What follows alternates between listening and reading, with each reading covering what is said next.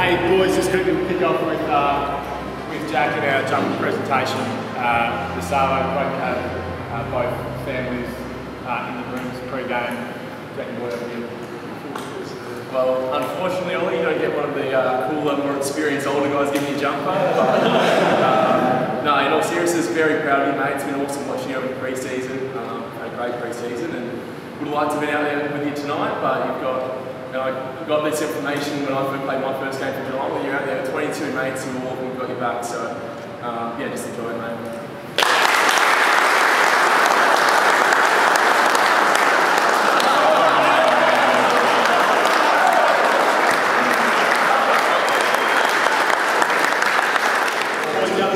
Uh, Tanner.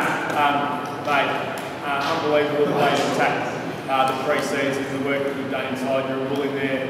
Uh, it's taken us a couple of years to get you back. Um, hopefully you're a bit more excited with tonight's presentation than we were being drafted a few years back. great, great to have uh, Andy Mack in the building, obviously, as our list manager. Played 280 games in number four. It's time for you to make your own.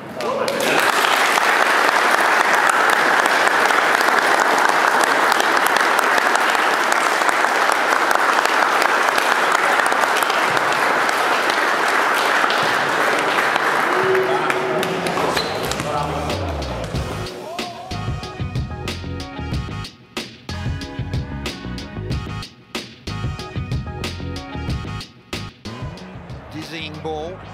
Here's Bruhn. The new cat. Big ball to win now. Henry, look out. Atkins. Five minutes of footy with no tackles. Tanner Bruhn can get to side bottom. Broken up. Cameron brings it away. Myers now to avoid Daicos. Lovely handball. Bruhn's been pretty good in this game so far. Cameron can turn and have a look at this for a forward line. Gonna stop and ponder here. Just listen to this. Henry nails it.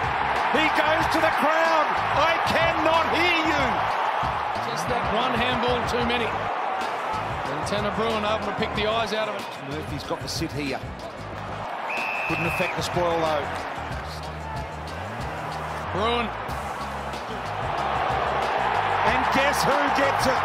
The former pie. Be a little underground one. Committed at the ball was Bruhn and Mitchell. Bit of a sidewinder, but it'll work. That's what the risk is. Bruhn swooshing through the middle of the ground. Into the pocket. Cameron, big climb. Ollie Henry